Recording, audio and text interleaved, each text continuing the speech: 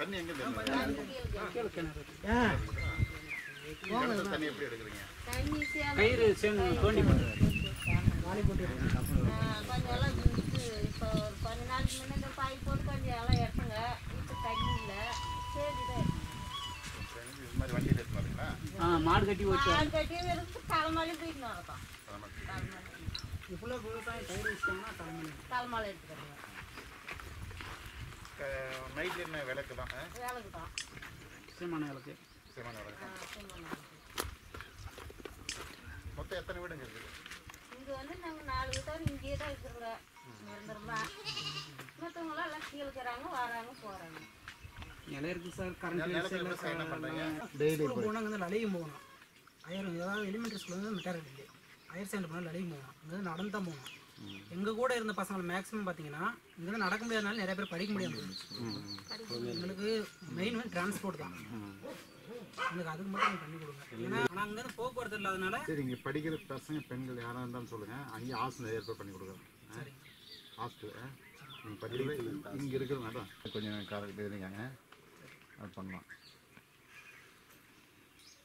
Daily வந்து போக முடியாது.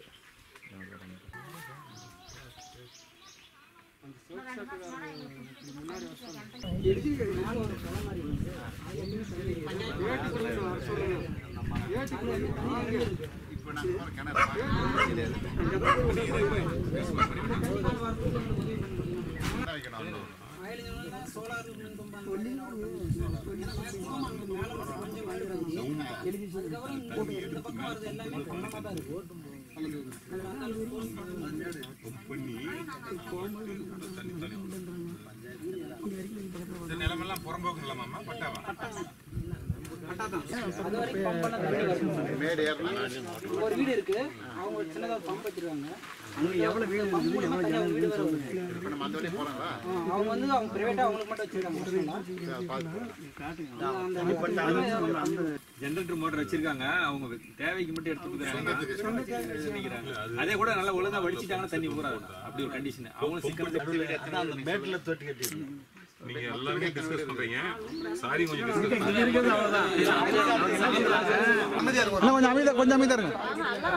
யாரா ஒருத்தர் தகவல் எல்லாம் பிரிச்செல்லாம் ஒரு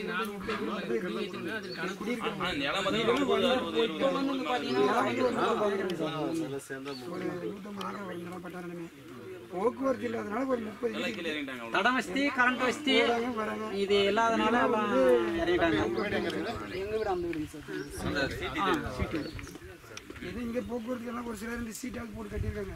இப்போ அந்த பக்கம்லாம் எது நீங்கள் போய் அந்த படுகான் படுக்க ஏன்னா கார் பாய் மாதிரி படுகா தான் ஏன்னா இப்போ டிரான்ஸ்போர்ட் ரொம்ப பிரச்சனை. ஆனா தண்ணியும் கரண்ட் இருந்தா குறைஞ்சபட்சம் ஒன் இயர்ல ஒரு நூறு குடும்பம் மேல இருக்கும். அதுதான் உண்மை. இல்லாத சூழ்நிலைக்கு அவங்க வேற வழி இல்லாம வயசானவங்களை இங்க விட்டுட்டு மாடுகள்ல மாடு இறமி இங்க விட்டுட்டு அவங்க எல்லாம் கீழே இருக்கிறாங்க. தண்ணிக்கு ஏற்பாடு பண்ணிடலாம். தான். தண்ணிக்குன்றதோட சாலை வசதி போக்குவரத்துக்கு சாலை வசதி மட்டும்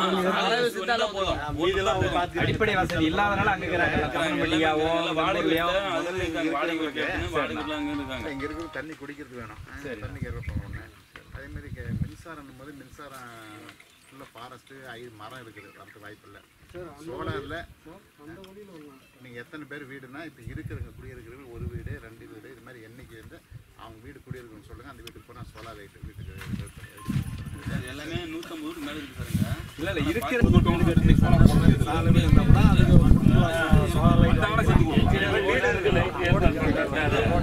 ஓடு வச்சு வந்தா எல்லாமே அங்கே வந்துருவாங்க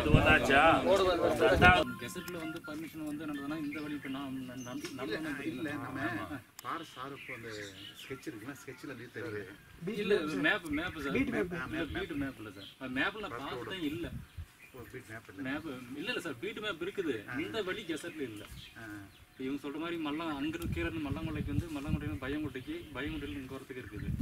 அப்படி இருக்கு. அந்த வழி இப்போ நம்ம நட- நடந்து போறோம் பாத்தீங்கன்னா அந்த வழியில தான் இருக்குது. அந்த வழியில் இருக்கு. இதுல இல்ல. அதுலயும் வந்து என்னன்னா ஒன்றரை மீட்டருக்கு ந- நடைபாதை மட்டும் தான் ஒன்றரை இருக்கு மீட்டர். அந்த வழியை நடந்து இங்கிருந்து இங்கே வரலாம். அங்கிருந்து இப்படி வந்து அந்த நடப்பாதையில உடைய டிஎஃப் கேட்டாங்களா ரேஞ்சர் கிட்ட சொல்லி இப்போ ரேஞ்சர் தான் டிஎஃப் ரிப்போர்ட் கொடுத்தீங்கன்னா இல்லை ஒன்று கொடுக்கல. இன்னும் கொடுத்துருக்கீங்களா சரி சரி. காலையில் பேசினேன் நான் ரேஞ்சர் கிட்ட பேசினேன். இல்லை நான் டிஎஃப் பேசினேன். ஸோ நீங்கள் இந்த ரிப்போர்ட் இப்போ நம்ம வந்து போன தடவை சொல்லுங்கள் எல்லாமே. ம் கண்டிப்பாக கண்டிப்பாக சார். நான் பேஷண்ட் ரிப்போர்ட் கொடுத்துருங்க. ஒன்றரை மீட்ரு மொத்தம் கீழே இருந்து மேலே வரைக்கும் எத்தனை? அது தெரியுங்களா இல்லை சார் ஒரு ரெண்டு மூணு மூணு கிலோமீட்டர் இருக்கும் ஆனால் அதில் தோராயமாக தான் இருக்குது. தோராயமாக வந்து வித்து மட்டும் கொடுத்துருக்காங்க. அகலம் மட்டும் அகலம் மட்டும் வந்து ஒன்றரை மீட்டர் கொடுத்துருக்காங்க. ஃபுட்பாத் அது மூணு மீட்டர் ரெண்டு அது ஃபுட்பாத் இருந்தால் ரோடு வாங்கிக்கலாம். நடைப்பா தான் இருக்குது. அங்கேருந்து இது வரைக்கும் இருக்குது. இப்போ இந்த பக்கம் ஒரு இது இந்த பக்கத்துல இது இல்லை சார். அந்த பக்கம் அந்த ஆப்போசிட் படிக்கட்டு இங்கிருந்து கெஜமான் கோட்டை இருக்கு சார். ஒரு ரெண்டு கிலோமீட்டர் இங்கிருந்து கெஜமான் கோட்டைக்கு வழி இல்லை ஆனால் அது கீழே இருந்து இன்னொரு வழி இருக்குது. ஃபுட்பாத்து அதுக்கு தனியாக இருக்குது ஓ கெஜமான் கோட்டை தனியாக தனியாக கீழே இருந்து மேலே தனியாக நடந்து போகிறது தனியாக இருக்குது ஒன்றரை மீட்டர் இருக்குது அது. அது ஒன்று இந்த பக்கம் ரெண்டு. ஆமாம் சார். இங்கேருந்து அது இதுதான். ஆமாம் சார் ஆமாம் சார் இன்னொன்று கிளியர் பண்ணிடுறேன் குறுக்கெடுத்து மன்னிக்கும் இங்கேருந்து சரக்காப்படு கஜமாங்கோட்டையும் அது அந்த ரெண்டு புள்ளியும் மூணு ஏற்பாடு பண்ண சொல்லுங்க. வந்து இப்போ பார்த்து பேசுகிறேங்க பேசிட்டு மேலே அதிகாரிகளோட பேசுகிறேங்க பேசி நாங்கள் முயற்சி எடுக்கிறேங்க. ஒரு மினி டிராக்டர் மாதிரி வாங்கி வச்சுட்டு இங்கே வச்சு ஓட்டுவீங்களா கவர்மெண்ட் வண்டி. இந்த கவர்மெண்ட் சப்சிடியில் சப்சிடியில் ஒரு டிராக்டர் வாங்கிக்கலாம் அது வண்டி இங்கே நிறுத்திடுங்க. வண்டி கொண்டாந்து பேச வச்சுங்க இங்கே நிறுத்திட்டு ஓட்டுங்க. எல்லாரும். நீங்களே ஓட்டிக்க இங்கே நிறுத்திக்க ஏன்னா ஒரு நாள் வாங்கிக்கங்க வாங்கி ஓட்டுங்க.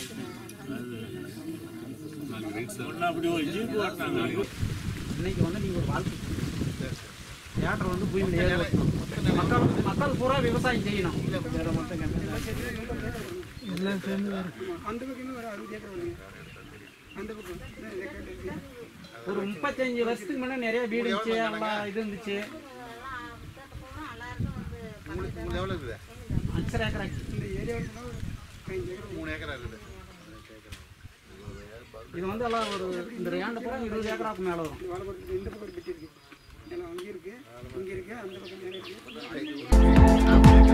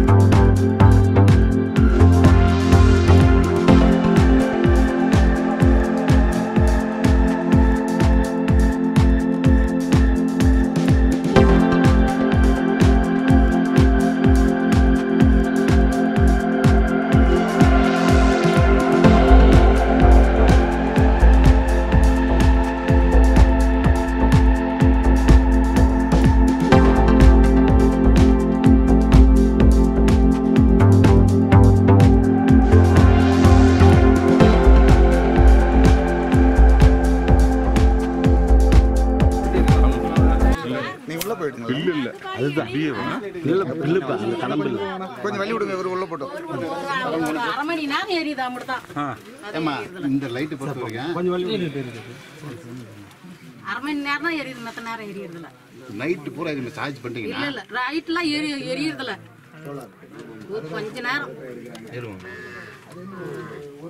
சார்ஜ் போட்டு எடுத்துட்டு வந்துருதா போட்டு கரெக்டா நம்ம அந்த Delhi hands light solar charge dance light இல்லை டான்ஸ் லைட் இங்கே வரைக்கும் ஃபேமஸ் ஆயிடுச்சு இவங்க அங்கே தானே வாங்கி வராங்களா அதுங்க. அது பேட்டரி அங்கே போயிட்டு இருக்கு டார்ச் அந்த பேனர்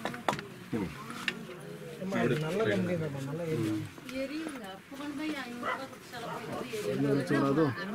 அக்கா கொஞ்சம் உள்ள வாங்க அப்படியே. உள்ள வாமா உள்ள வாமா உள்ள வாமா. அங்கேயே தான் பேரும் பாம்பையும் வந்து எல்லாம் வந்தா அப்படி உள்ள வாமா நீ. இதோட கவர் பண்ண. பகல் நைட் ஒன்று எப்படி இருக்கும்? பகல் இது. அந்த அம்மா உள்ள கத்திக்க உள்ள வாத்தா சோறு குழம்பு. இல்ல அது இல்லம்மா. இதெல்லாம் வந்து விளைஞ்ச பொ- பொருளுங்க அது ப- ஆரிங்க. ஆரியா? ஆரிக்கிறது, ஆ. அங்கே நில்லுங்க. இல்ல பண்ணல சோறா ஆ சோறு ஆ, சோறு முடி முடி முடி குழம்பு ஆ? சொத்தா குழம்பு சுரக்காய் குழம்பா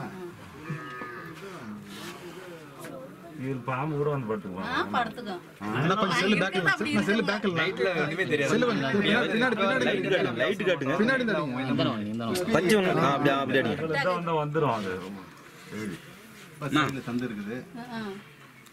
அந்த பக்கம் நில்லாம் இல்ல அது யாராவது சோறு குழம்பு சாப்பிட்றீங்களா?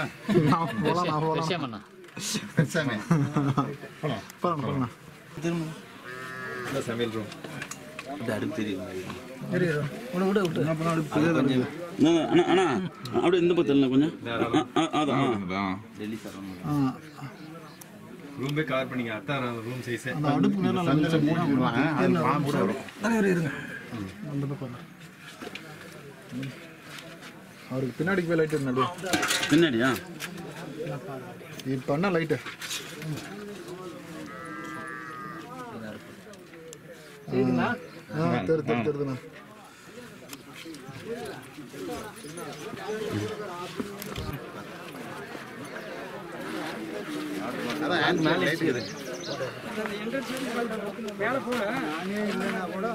இந்த செவுத்தெல்லாம் மண் வச்சு மூடிக்கலாமே மழை கரைஞ்சி கரைஞ்சி போயிருக்கு ஏமா இது சமையல் ரூம் இருக்குது.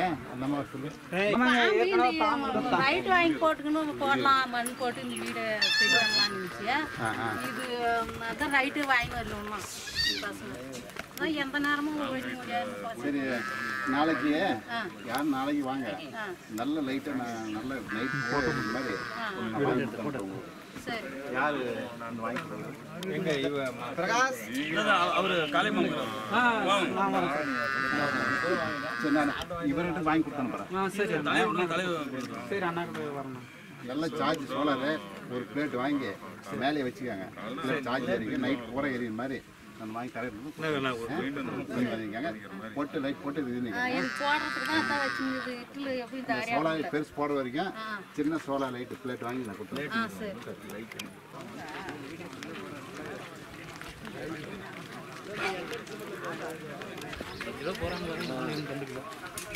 சரி வாழ்வாதாரம் பாதிக்கணும்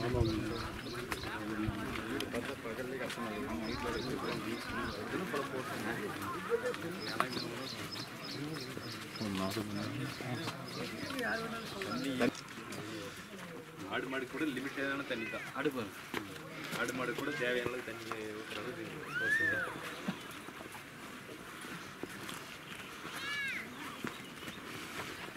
அடுப்பு பழைய காலத்து மாதிரி இது இருக்குது. இது பண்ற யூஸ் பண்ணிட்டு இருக்காங்க அந்த வழியா வந்து பைக் வந்து கெஜமாட்டிக்கு தான் வழி இருக்கு இந்த வழி வந்து பிரிஞ்சு இது நம்ம வந்த வழி தான் இல்லை. இது இருக்கு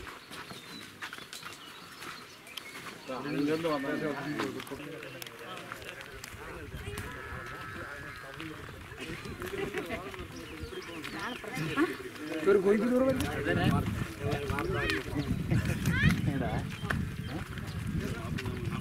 சரி இப்படி போயிடலாம். நாலு ஐம்பது வீடு சரி ஒரு இருபது வருஷம் முன்ன சரி சரி ஆ. இப்போ குடிக்கிறது ஒரு பத்து பேர் மட்டும் இருக்கும். நிலம் வந்து ஒரு அறுபது ஏக்கருக்கு மேலே இருக்கு. எல்லாம் பட்டிருக்கோம் அப்ப இதோட அங்கே தான் அதிகமாக இங்கே தான் அதிகம் பதினெட்டு இருபது ஏக்கர் அங்க அறுபது அந்த பக்கம் இந்த பக்கம் ஏழு வீட்டா இருக்கு. ஒரு ஏழு வீட்டா ரெக்கார்டு பிரகாரம் பார்த்தீங்கன்னா கோட்டைக்கு அப்படிதான் வழி இருக்கு. ஆமாங்க. அது ஆனா இருந்தா ஆக்சுவலா போய் ஒரு வழி இருக்கு ஒன்றரை மீட்டர் இது ஒரு ரெண்டு வழி இருக்கு. பொம்படிக்கு போற வழி இருந்தா பொம்படிக்கு போறதான வழி இருந்தா வர முடியாது பிளாக் பண்ணி அது போடல. உங்ககிட்ட என்ன சொல்றாங்க இப்போ அங்கேருந்து அந்த கஜமான் கோட்டைக்கு வழி இருக்கு ஃபாரஸ்ட்ல ஒன்றரை ஒன்றரை மீட்டர். அதை நம்ம டிஎப்பட்ட வேணான்னு கூட சொல்லிடலாம். அந்த வழி வேணா இந்த வழி. தகவலுக்காக ஏன்னா உங்களை அறியாம இது சொல்லக்கூடாதுன்றதுக்காக. இப்போ அங்கே குடிநீர் வசதி என்ன பண்ணணும்? கிணறு பஞ்சாயத்து கிணறு. பஞ்சாயத்து கிணறு இவங்களாம் ரெடிமேடா Readymade மரத்துல போட்டுக்கிறாங்க. இதெல்லாம் உளுந்து போச்சுன்னா இது கட்டணம் உடஞ்சிருச்சுங்க. மூணாம் தேதி சரி பஞ்சாயத்துக்கான ஆழப்படுத்தணும் ஆளப்படுத்தணும். சுற்றுச்சுவர் கட்டணும். இது வந்து போக்குவரத்து சிமெண்ட் எது எது எடுத்து போகிற வழி இல்லை. சரி சரி. குடிநீர் ஏற்பாடு பண்ணுறாங்க இங்கே விளையிற பொருளை சந்தைப்படுத்துறதுக்கு எங்களுக்கு போக்குவரத்து வசதி. அதுதான் மெயினாக தேவை.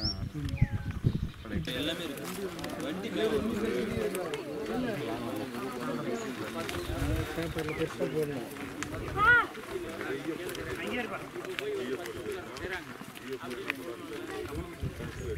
ரோடே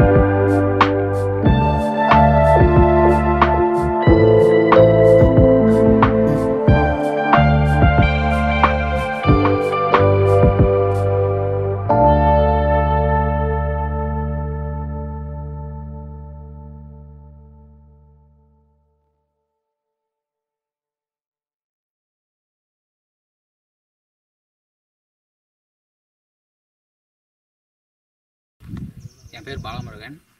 நான் வந்து மிட்டாது மிட்டாரெட்டிலி பஞ்சாயத்துலேருந்து. வந்து இந்த ஒட்டங்கொலையில் வந்து இருக்கேன். ஒட்டங்கொலை இங்கே வந்து ஒரு மூணு நாலு ஊர் இருக்குது அந்த ஊரில் வந்து இப்போ வந்து வீடெல்லாம் இருக்குது ஒரு அறுபது வீடு பக்கம் இருக்கும். எல்லாம் அறுபது வீட்டுக்குமே வந்து லைட்லாம் எதுவும் இல்லை. தண்ணி வந்து ஓரளவுலாம் எதுவும் இல்லை. ஒரே ஒரு கிணறு இருக்குது அந்த கிணத்துலேருந்து எல்லாம் எடுத்துகிட்டு வரேங்க. அதுவும் கொஞ்சம் எல்லாம் தண்ணி கொஞ்சம் எல்லாம் இதாக தான் இருக்குது எல்லாம் ஃபாரஸ்ட்டில் இருக்குது கொஞ்சம் எல்லாம் ஃபாரஸ்ட்டில் கொஞ்சம் சப்போர்ட் பண்ணணும். ரெண்டாவது கொஞ்சம் ரோடு வசதிக்கு கொஞ்சம் சப்போர்ட் பண்ணணும். இப்போ வீட்டுக்கெல்லாம் லைட்டெல்லாம் கொஞ்சம்லாம் ஏற்பாடு பண்ணி தரேன்னு சொல்லி சொல்லியிருக்காங்க. இப்போ தான் வந்து இந்த பீரியடில் தான் வந்து எம்எல்ஏலாம் வந்து பார்த்துருக்காங்க. எல்லாம் பார்த்து இப்போ தான் வந்து இது பண்ணுறேன் ஏற்பாடு பண்ணி தரேன் அப்படி மாதிரி பேசியிருக்காங்க. எல்லாம் வந்து இப்போ வந்து இங்கே வந்து நாங்கள் இங்கே இருந்து வந்து கீழே போகணுனாக்கெல்லாம் படிக்கிறதுக்கு ரோடு வசதி வந்து இல்லை. ஒரே ஒரு கொடி வழி தான் இருக்குது அதில் வந்து ரொம்ப நடந்து போகிறதுக்கு கொஞ்சம் இக்கட்டாயிரே தான் இருக்குது அந்த இக்கட்டான ஏரியாவில் நடந்து போக முடியாது. கொஞ்சம் ரோடு வசதி எல்லாம் கொஞ்சம் நல்லா பண்ணி கொடுத்தாக்கல. கீழே படிக்கிறதுக்கெல்லாம் போகுங்க நல்லா. இப்போ போய் தங்கி ஹாஸ்டல்லே தான் தங்கி படிக்கிற மாதிரி இருக்குது இப்போ வந்து டிப்ளமோ முடிச்சுனுக்கிறேன் டிப்ளமோ வரைக்குமே அங்கேயே ஹாஸ்டல்லே தான் பண்ணி தங்கிட்டு இருக்கான் ஸ்கூல் படிக்கும்போது இருந்து. இப்போ வந்து தண்ணி கொஞ்சம் வசதி. எந்த ஊர்? மிட்டாரெட்டி இல்லைங்க. மிட்டாரெட்டி பஞ்சாயத்து. நாங்கள் இருக்கிற இடம் முள்ளங்கொல்லை முள்ளங்கொல்லையிலேருந்து நாங்கள் வந்து குடி தண்ணீர் வசதி ரோடு வசதி தண்ணி வசதி எதுவும் இல்லாமல் ரொம்ப கஷ்டப்படுறோம். அது வந்து கரண்ட் வசதி. பிள்ளைங்களுக்கு படிக்கிறது ரொம்ப மூன்று தலைக்கட்டாக இதே மாதிரி தான் வாழ்ந்து கொண்டு இருக்கிறோம் இந்த இடத்துல மலை மேலே. அதாவது எங்களுக்கு இந்த வசதியெல்லாம் செஞ்சு கொடுக்குன்னு சொல்லி கேட்டுக்கொள் கேட்டுக்கொள்ளும் என் பேர் ஜெயபிரகாஷ். நான் இப்போ மல்லங்கொல்லையில் இங்கே தங்கி படிக்கிறேன். நான் ஸ்கூல் போகிறதுக்கு வந்து மூணு கிலோமீட்ரு கீழே போய் நான் படிச்சுட்டு வரேன். இப்போ நான் காலேஜ் சேர்றேன். அதனால் எனக்கு இப்போ ரோடு வசதி இல்லை இங்கே கரண்ட் இல்லை. அதனால் எங்கள் கரண்ட் வசதியெல்லாம் எங்களுக்கு கொஞ்சம் செஞ்சு தர மாதிரி கே கேட்டுக்கணும் அப்புறம் கரண்ட்டு தண்ணி வசதி ரோடு ரோடு வசதியெல்லாம் கொஞ்சம் செஞ்சு தரணுன்ட்டு கே தருமபுரி சட்டமன்ற தொகுதிக்கு உட்பட்ட மிட்டா ரெட்டில்லி ஊராட்சிக்கு உட்பட்ட இந்த மலைப்பகுதியில் மொத்தம் ஒரு ஏழு எட்டு கிராமங்கள். ஒட்டன்கொள்ளை கஜமான்குட்டை வாழமரத்துக்குட்டை பயன் பயன்கொட்டை மல்லன்கொட்டை மல்லங்கொல்லை மல்லங்கொல்லை மற்றும் இது போன்ற ஒரு ஏழு எட்டு கிராமங்களில் மக்கள் பல நூற்றுக்கணக்கான ஆண்டுகளுக்கு முன்பிருந்து இங்கே வாழ்ந்து வருகிறார்கள். இங்கு விவசாய நிலங்களும் சொந்த பட்டா நிலங்களும் நூறு பட்டதாரி நூறு பட்டாக்கு மேற்பட்டு உள்ளது. சுமார் ஒரு அறுபது வீட்டில் மக்கள் இங்கு வசித்து சாப்பிட்டு வாழ்ந்து வருகிறார்கள். நூறுக்கு நூற்றுக்கும் மேற்பட்ட வீடுகள் உள்ளது. சாலை வசதி மின் வசதி குடிநீர் வசதி இல்லாதனால் ஒரு நாற்பது ஐம்பது வீடு மக்கள் ம கிராமங்களின் கீழ்ப்பகுதிக்கு வந்து விட்டார்கள். மற்றும் உள்ள ஒரு ஐம்பது அறுபது வீட்டுகளில் இங்கேயே வாழ்ந்து வருகிறார்கள். அவர்களுக்கு சாலை வசதி குடிநீர் வசதி மின் வசதி தான் முக்கியமாக தேவை. ஒரு பதினஞ்சு நாட்களுக்கு முன்பு இந்த மக்கள் எல்லாம் வந்து மனு கொடுத்தார்கள். அந்த அடிப்படையில் இன்று காலை வருகை ஒரு பத்து கிலோமீட்டருக்கு மேல் வனத்துறை மூலம் வனத்துறை வழியாக நடந்து சென்று அனைத்து பகுதிகளுக்கும் சென்று நேரடியாக கண்காணி பா பார்வையிட்டு மக்கள் வாழ்வாதாரம் ரொம்ப கஷ்டப்பட்டு வாழ்கிறாங்க ஏனென்றால் குடிப்பது கூட குடிநீர் சரியான குடிநீர் இல்லை. இரண்டு கிணறுகள் உள்ளது குளம் குட்டை போல உள்ளது. மழைக்காலங்களில் தண்ணீர் தேங்கி நிற்கும். அந்த தண்ணியை தான் குடிக்கிறார்கள். அந்த தண்ணியும் எடுத்து வருவதற்கு ஒவ்வொரு இடத்திலும் இருந்து இரண்டு கிலோமீட்டர் மூன்று கிலோமீட்டர் நடந்து சென்று எடுத்து வருகிறார்கள். அதேபோல் ஒரு வீட்டிற்கு கூட மின்சார வசதி இல்லாதனால இரவு நேரங்களில் ரொம்ப மக்கள் ரொம்ப கஷ்டப்படுறாங்க. அந்த சீமனை சீமெண்ணை வில்லு விளக்கு வைத்து எறி விடுறாங்க அந்த அடிப்படையில் பார்வை பார்வையிடும்போது ரொம்ப கஷ்டப்படுறாங்க. இந்த பகுதி மக்களுக்கு முதற்கட்ட தேவையான அனைத்து விவசாய நிலங்களிலும் விவசாயம் செய்து அவர்கள் சாப்பிடுவதற்கு வழிவகுத்திற்காக இப்பொழுது அந்த டிராக்டர் உழவு ஓட்டுவதற்கு மட்டும் வர வேண்டும் என்று கேட்டுள்ளார்கள். அதன் அடிப்படையில் மாவட்ட வன அலுவலர் மற்றும் வனத்துறை அமைச்சரிடம் நேரடியாக இந்த பகுதி மக்களுடைய குறைகளை எடுத்து சென்று அந்த டிராக்டர் மூலமாக உழவு ஓட்டி விவசாயம் செய்வதற்கு முயற்சி செய்ய எடுப்பேன். அது மட்டும் இல்லாமல் அனைத்து வீடுகளுக்கும் சட்டமன்ற உறுப்பினர் மேம்பாட்டு நிதியிலிருந்து சோலார் மின் விளக்கு அமைத்து கொடுப்பேன் என்று உறுதி கூறினேன். கண்டிப்பாக அதை அமைத்து தருகிறேன். மற்றும் குடிநீர் அந்த பகுதி மக்கள் குடிப்பதற்காக அந்த குடிநீர் எப்படி சோலார் மூலிமா மின் மோட்டார் வைக்க முடியுமா என்று அதை ஆய்வு செய்து குடிநீர் கிடைப்பதற்கும் மின்சாரத்திற்கும் உடனடியாக நான் நடவடிக்கை எடுப்பதை உறுதி கூறி வருகிறேன். இந்த மக்களுடைய முதல் கோரிக்கை நாங்கள் எங்களுடைய மூன்று நான்கு தலைமுறையாக இங்கேயே வாழ்ந்து வந்தோம் இனிமேல் நாங்கள் இதை விட்டு கீழே எங்கேயும் வந்து வாழ்வதற்கு எங்களுக்கு வழியும் தெரியாது வாழ முடியாது என்பதனால் இங்கேயே வாழ்வதற்கும் விவசாயம் செய்வதற்கும் எங்களுக்கு முதலாவது கோரிக்கையாக டிராக்டர் மேலே வருவதற்கு வாகனங்கள் வருவதற்கு வழி செய்து கொடுக்குமாறு கேட்டுள்ளார்கள். மாவட்ட வனத்துறையும் மற்றும் மாவட்ட நிர்வாகம் மற்றும் தமிழக அரசும் இதற்கான முன்னேற்பாடுகள் கண்டிப்பாக அவர்களிடம் தமிழக முதல்வரிடம் அவருடைய பார்வைக்கு நான் இதை எடுத்து கொண்டு சேர்ப்பேன். அந்த அடிப்படையில் தமிழக அரசும் மாவட்ட நிர்வாகம் இந்த மக்களுடைய வாழ்வாதாரம் மேலும் முன்னேறுவதற்கும் வாழ்வதற்கும் அந்த மின் வச இது சாலை வசதி ஏற்படுத்தி கொடுக்குமாறு நான் கேட்டுக்கொள்கிறேன்.